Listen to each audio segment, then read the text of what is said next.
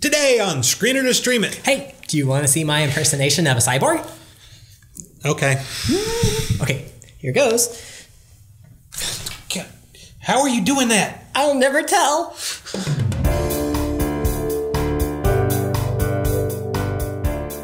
Alita Battle Angel is rated PG 13 for sequences of sci fi violence and action and for some language. It is the story of the title character Alita, who is a cyborg that's found in a junk pile by a humanitarian doctor named Ido. Surprised to discover that she was still alive, Ido uses his medical expertise to give her a new body. But there's a catch. Isn't there always? When she wakes up, Alita has no memory, and so she ends up staying with Ido. Meanwhile, quite a lot of world building takes place. There's this floating city where the upper class lives and everybody else wants to live. A fast paced and dangerous, blow your mind sports game called Motorball, Mountains of weird techie stuff, gangs that attack people to steal their tech, and bounty hunters that maintain some semblance of order by tracking and killing the serious criminals. We really have a lot going on in what is barely a two hour movie. You're telling me. Add to what we just said, then look into Ido's backstory, Alita's search for her own identity, a love story. and a couple of villains that make the roving gangs and other thugs look like children by comparison. All right, on to the important question. How did we like it? Critics were 50 50 on this one, but it's an audience pleaser to be sure. We think that Alita Battle Angel is a good movie.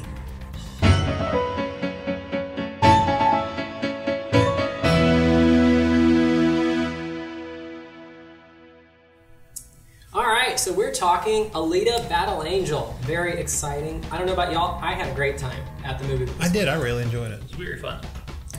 The funny thing is, when we watched the trailer for it, and did the trailer reaction, I said I was a sucker for world building. Yeah, And this gave me one of my favorite things about the movie is the world building, and one of my least favorite things about the movie is the world building.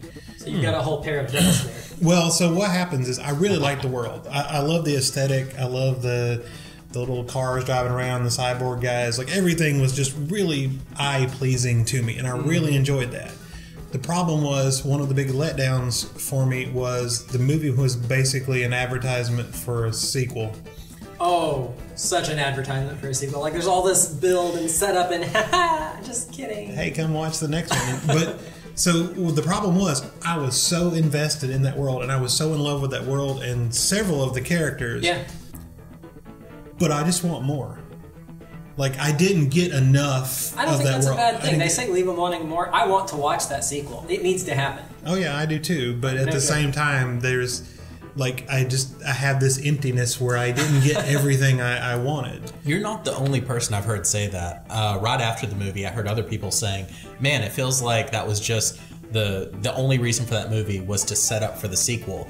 And I kind of see where they're going if you're looking at the plot of the movie, but if you're looking at just the development of the main characters, I think looking at that as the main plot, you may feel somewhat satisfied with the ending. Well, when we and, and it wasn't just the ending. Like, so we were arguing over who uh, what was it Nova. So like the they showed Nova, and I'm looking at him like, was that Ed Norton? It was. Well, then the credits roll and there's no Ed Norton, and I'm like, man, that had to be Ed Norton. And so I looked it up, and I'm like, it was, it was Ed Norton. But while I was looking it up, I saw that like Casper Van Dien was in the like credits, and there's there's quite a few like Jackie Earle Haley. Jackie Earle Haley. I did not recognize him at all in that one.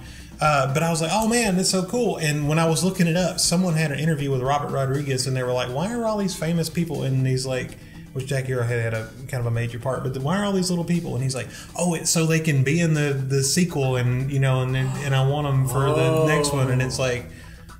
He might just set it up like so. Like Ed Norton has this tiniest little part. Casper Van Dien yeah, you the tiniest barely little part. even see him. Yeah, like, And I so didn't realize it was him until right at the end. I'm like, oh my gosh, that's me too. There was that like scene at the end where he turns and he, He takes finally off the got a close-up, glasses and yeah. he was like, "It's Ed Norton." It's, no, I was like, "I'm pretty sure that's Ed Norton."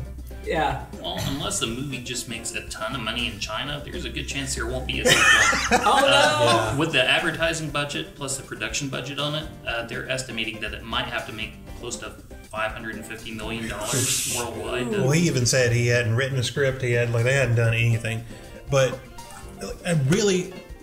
Again, every time I watch a movie and I like it, it always sounds like I don't. I don't know how that works. But I did really enjoy it. I enjoyed the world, but it did leave me longing. I wanted Right. more. As a I want to know complete more about story. the people. It felt like something. So was I, uh, so Christoph Waltz is always amazing. fantastic. and uh, his uh, Doc Ido, like that's a cool character. I want like I want more of that, and like I just I want to know more about him. I want to know where he comes from, and it left me when the movie starts. Everything's kind of a mystery, and Yeah. like everybody has, like no one has a backstory, and it just it kind of unravels. But it, it does it too fast and too fragmented and too little of a piece for me to really latch onto it. But it, just watching that, man, that's cool. Um, So I'm going to stop you about Doc Ido for just a second. Did anyone else, whenever he kind of came out there with his action sequence and his weapon, you're like, "This is the dumbest thing, but I love it. I love how stupid this is." So he has a like a warhammer that's jet propelled on the back. like a power hammer. yeah, it's, Which man, if you could hit somebody with something like that, And he like turns it on a dime. it'd be devastating. well, and he looks so he looks so awkward and so like frail and so uncomfortable swinging that thing. Yes. even with the cuts and yeah, it just didn't work. And I was kind of because that was kind of our first like actiony thing in the movie, and I was like. Boy, this is not going to be good. But once they cut like Alita loose and was like, "Here, whoop some tail," then it was like that was actually cool. I Yeah. actually enjoyed her robotic cyborgy flippy turny punchy things. So I never did, couldn't really tell, and I guess that's where you want to be, is where you can't quite tell. And I never did find satisfactory information. Was she like totally 100% CGI the whole time? I Or think were she they might doing been. like masks and Because all the behind the scenes stuff I've seen, it's her in motion capture. Like she had all the motion yeah capture. stuff Okay, on her so- face. So I think that's, that's, kind of what I suspected, but since I couldn't quite tell, that makes me happy. Well, that was I don't want to know. that was another one of the things that was kind of on my letdown list. Hmm. I think her character was fully CGI the entire time, and there are most of the time, it's beautiful. You can't Right. tell, but when she hit the water, and when she went, they took her out to the lake, Oh, and, yeah, a yeah, and she's walking through the water. It was, oh, it looked like 1994, like. Hey, look, mom! What Microsoft Paint can do. I mean, it oh was no! oh, it was bad to me, and I could be wrong. But oh, it, it was so bad. I was Well, like, man, why? It was funny to me because there were several scenes where it goes a close up on her. I'm like, mm, that's definitely CGI. Then it does reverse cut to whatever that guy was, her friend there. I'm like, no, she looks just like him. well, and I I was scared because you know she had the big like I guess they were trying to emulate the anime My eyes. first instinct was, oh, that's bad. Yeah, when But the trailers come out, that was it works. terrible. It works. It's better than it Well, looks. and we I was speculating. I wonder if they shrunk them down a little from the trailer. I'd like to see because I didn't, or if I just got used to it because it struck me in the trailer as weird and I did, like it. I unsettled. really thought it would bother me. yeah, and I Yeah. thought it was going to be, but it didn't at all. First time it was jarring, but you get used to it pretty quick, and then that's just her. Yeah, and it didn't. I mean, I kind of accepted that that pretty much her entire body was robotic, and that I don't know, maybe the eyes were bigger as like a way to see better, have more periphery vision. But yeah, no, and I was I was genuinely worried about Oh, that. yeah. That didn't bother me. I was kind of worried about the because when uh, Ed was Ed Skrein Screen when he's the like cyborg bounty hunter and he's pretty much all metallic except Yeah. for the face. Oh, the the the attention to detail that went Oh, into yeah, it. like, oh, whenever he turns around and like his back piece, did the mouth move or was that just me? I didn't like it, notice it, it seemed like it. Like there was so much detail on him, and it's like that's that's like the Robert Rodriguez signature right there. Yeah, but again, in the trailer, when I saw that, I went, "Oh, like, like it was cool flashing in the trailer." But I'm like, 20 minutes of that, and it's gonna be Right. uh, and it didn't. Like, he looked cool, he looked right. Like they did an exceptional job with the visuals throughout this entire thing. Whether it be the background, the foreground, the people, the what, everything just looked cool. Yeah, I have Which to I love. agree. I I heard a few people say there were issues with the pacing. I didn't see that Didn't notice the myself. Pacing at all. I was entertained the entire time. Like there was always something going on that held my interest and kept me just enjoying the movie. Of course, right up until the and stay tuned next week. like, oh, why? so I will say this: the the main issue with the pacing is not for people who are serious moviegoers. It's for your passive moviegoers. There were families that came to see this. I'm assuming thinking it was going to be like the next Spy Kids movie, and it's not. Uh, and there were children who were kind of like, okay, this is a little violent, but I'm whatever. Oh, they use some vulgar language, but whatever. but then, Little. yeah, that's what the kids Very well said. like, oh, they used vulgar language, but I'm a kid, whatever. Um, but toward the end of the movie, whenever there's a lot more character uh, reveals and there's a lot more dramatic uh, unfolds in the storytelling, the kids are just getting restless. And they were getting up and they were walking around and they were crying and screaming. And I didn't really feel like, you know, the kid was at fault there. I, I kind of felt like, yeah, you probably should have done some research and realized this actually is not a children's movie, even though it is very cartoony in its look. Rating PG 13 should have been a giveaway. Yeah. Well, and uh, I think we were talking about the anime eye thing, and I just remembered. But like one of the things that got me is everybody had, and you were talking about you couldn't tell the difference between the the boyfriend and Yeah, and Alita. like, like the light on their skin and the way it played. Just right, like, everything is slightly cartoony mm-hmm. looking, and that may be how they kind but of But it, it made everything blend together and Yeah. work. Yeah. and it was almost like watching a CGI, like a mm-hmm. full CGI movie. Like they just smoothed all the real stuff just a little just bit. little to make it sell blend. the- yeah, and then it, it- but it made everything else work. It didn't make it, you know, jerky or stand out, and, and I Yeah. thought that worked really well. That's been kind of an ongoing theme. If you look at Robert Rodriguez as an artist and and not just as a movie director, that's been kind of an ongoing theme in his films is the blurring between the fantasy and the reality aspects and the retelling of stories and and where does the true story kind of rest. And he's gotten to the point I think where it's he's able to do that in just every single shot of a movie like Alita. Well, all right, y'all can argue or agree or whatever you feel, but so Robert Rodriguez, to me, is a lot of times style over substance. Mm-hmm. Like his stuff is beautiful and it's neat and it's fun, but a lot of times you miss that that deep character development and, and, and things like that. And I kind of kind of felt the same way here. Like they did do some character development. There was some backstory, but it seemed very glossed over and kind of rapidly done for the sake of hey, look at this cool shiny, you know. And again, I'm just talking like I didn't like it. I love the shiny. I like the hey, look at this. That's cool. Um, I'm just I was really disappointed in the fact that I liked everything so much and I just wanted more of it. I almost wish it was a TV show. Right. If it had been a serialized TV show where you could have spent time with this character and this character and this character. That being said, there was one character I absolutely loathed and I hated. Vector? No, I love Vector, The boyfriend. the boyfriend. Oh yeah. Oh, was that Hugo? Hugo, yes. Hugo. Oh, I hate the boy. And the funny thing was, and I was like, maybe I just hated Okay, he was he's wearing like like cat eye makeup or something. like Does it it- was bothering me. Does anyone else think he looks like a young Robert Rodriguez? I didn't think about it, but he kind of does. Yeah, I didn't Huh. think about I, that. I had to look at the credits at the end to make sure But- that wasn't one of his kids. I was like, man, I just, and I really thought when I walked out, I said, I just didn't like him because he was the pretty boy. But I liked him when it started because he was kind of like Han Solo, right? He had the he had the leather jacket. and He was kind of a rogue and kind of, and I'm like, ah, this is gonna be all right. But he is literally, if you took not an actual teenage girl, but if you took the stereotype of a teenage girl hmm. and you asked that stereotype to describe the perfect like boyfriend, they did that with him. He was tall, he was dark, he was handsome, he had perfect hair and he had perfect skin, and he was a little bit dangerous but super nice and he had a kind heart and he like hit all of those weird check boxes. check, check, and a check. lot of that like is unrealistic because it does not go together. And I felt it made some of his actions and his choices like I didn't understand the like he at one point betrays Alita. Five seconds later is trying to save her. Ten seconds later is trying to give up the lifestyle he's living because it's bad, even though he just did. And it's like it was very kind of muddled and confusing. Well, and I he's like a proxy for plot development. that's a great way to describe it. Everything begins and ends with him. One of the things I thought that was interesting you were talking about, it'd be great, or it'd be great if this was like a series where you got an episode to develop each character.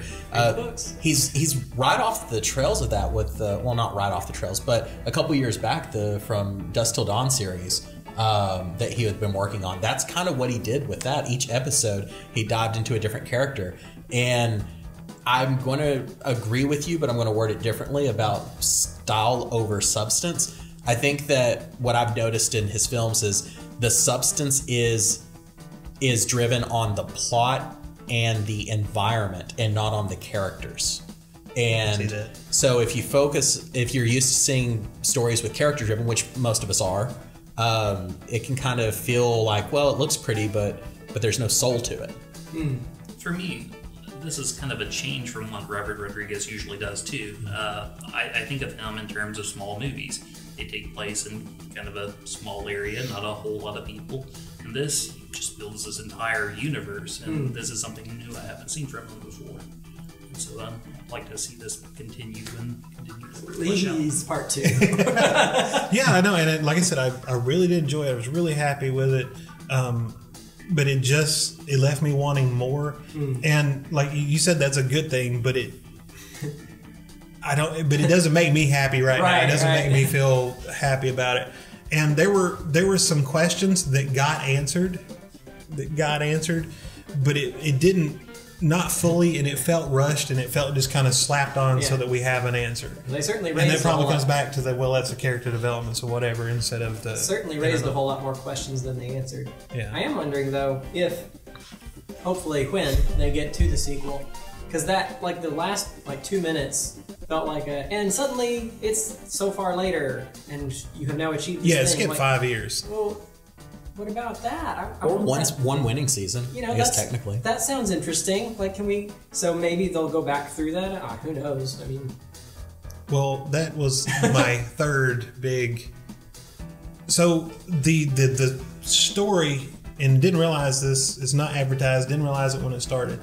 But the story is basically around, and this is a loose interpretation, but it's basically around this game called Motorball. Like it drives, like it's it's the foil, it's the, it's the drives everything, and it's dumb.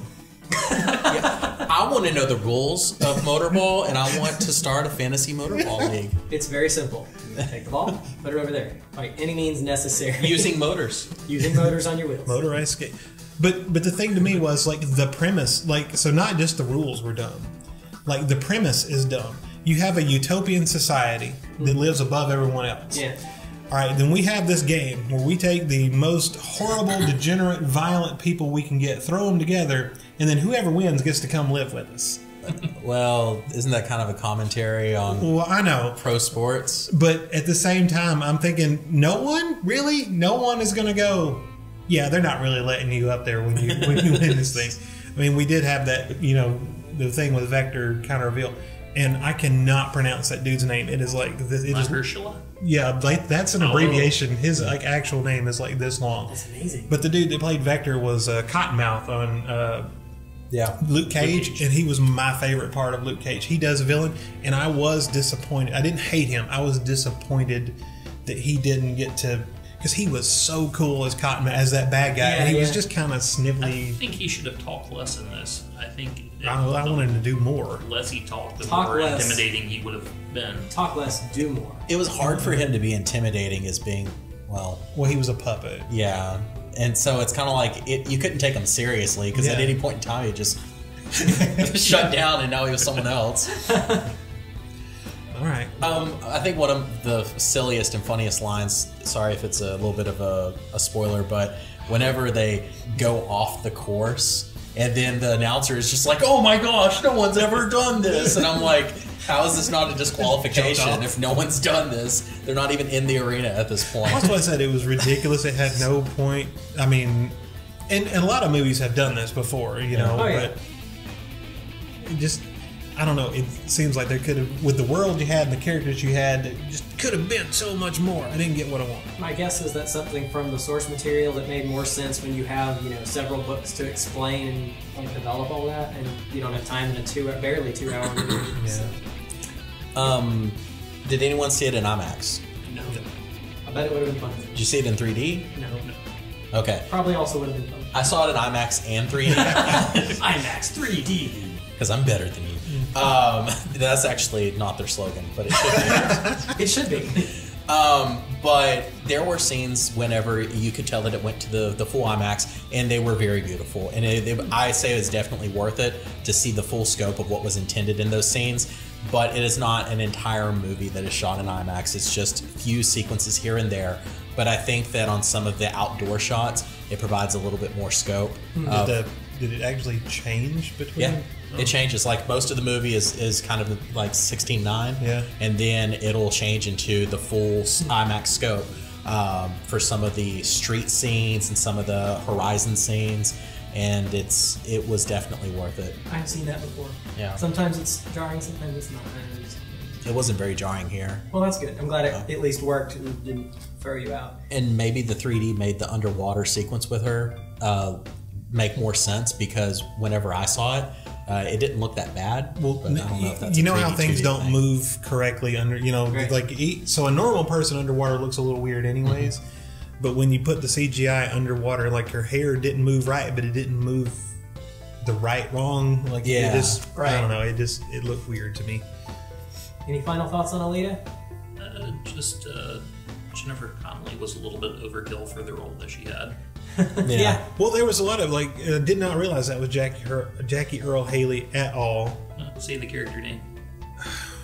I can't say the character Oh name. no!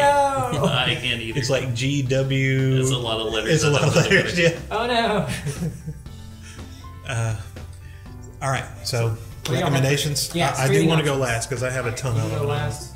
I guess I'll go. Um, so, like I said, my favorite part of the movie that kind of leaves it as a standalone movie that you could enjoy is the development of Alita from her being found all the way to her kind of being a hero, a hero at the or a heroine at the end.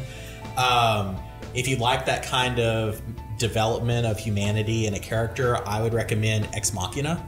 Uh, it's kind of an like independent movie from a few years back. It did get nominated for some awards. Um, it is a very different movie. it is not an action movie. It is not a family movie. Neither was Alita. if you're kind of disappointed that Alita wasn't a family movie and you really wanted to get something to take your kids to, literally any Spy Kids movie, any of them. Yeah. Okay, so I had a movie that I've been planning to do on this the whole time, and I'm changing it now. Oh. because after we talked about Motorball, it just made me want to watch Rollerball. Rollerball, Yes. which is a That much better my- movie. The 70s version, James Caan, seek it out, watch it, ignore the Chris Klein movie. I like the Chris Klein one too. Well, I'm going I'll with see that.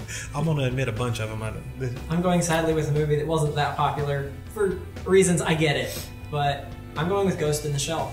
Okay. And you could Same go the cartoon. same If you like of the feeling, cartoon yeah. better, go for that or the anime one because Yeah. that one's great.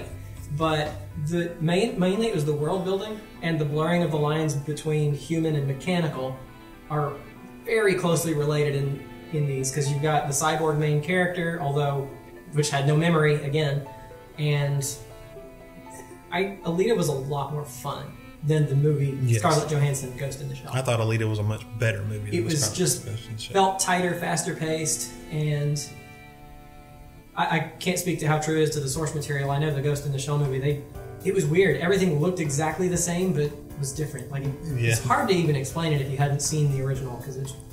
But but that it was it was fun, just not as much fun as Alita. I thought. Well, so like I said, I had a bunch of them. Realistically, you were going to go with the Fifth Element, right? I was. So the best recommendation I really can give is the Fifth Element. If you want that sci-fi world with cool stuff, and it had what I thought was a, a really great story and was a lot of fun, I really enjoyed the Fifth Element. But as I was watching this movie, like all these other movies kept popping into my head, and like most of them are going to be hated. Rollerball was one of them. uh, Double Dragon. Oh Like- wow! but not all of Double Dragon, but the the uh, Abobo, the the muscle guy, like when uh, again the Jackie Earle Haley character I can't pronounce, like the bad guy in that, and the bad guy in, in uh, Double Dragon, they Oh, just yeah. he was this giant, muscly, like way over the top, large.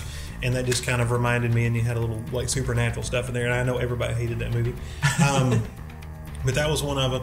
But my, my recommendation, and it's another one that most people don't like, but Judge Dredd. Not not Dredd. 'cause Oh, I Not, not the good Dredd. Not the good Dredd. Ah. Like because the good Dredd is good. It is really good. I love the new Dredd. It's ultra violent. but it, it doesn't like I don't get the same connection that I do with Judge Dredd, the Sylvester Stallone, like Rob Yeah. Schneider. But it just has this crazy cartoony world that they're in. Like the story is not similar at all or anything, but just like for that crazy over the top like And the dystopian desert future family. world and desert family. Yeah, just all that like and they're pieced together out of junk and they have the uh, I can't remember what the robot's called the they have the big robot that is uh, Yeah, they're they're not Terminators. yeah, that they're trying to put back together. So all that like visually just reminded me of Yeah. Judge Dredd, and it is it is a terrible movie. It is a panned movie pretty much by everyone. That one's so bad it's good. But it's fun. It's so It's terrible. fun. It is fun. So you can watch. If you want a good one, go watch Fifth Element. If you just want to have fun with a bad one, then watch uh, watch Judge Dredd. What about RoboCop? I was thinking Ed 209 the whole time. with Yeah, uh, with the enforcement enforcement- droids. I don't know. It didn't give me the same world because it was kind of set in a contemporary world, so I just didn't give me the same feeling. RoboCop 2, where he's got the the screen. Such a bad movie.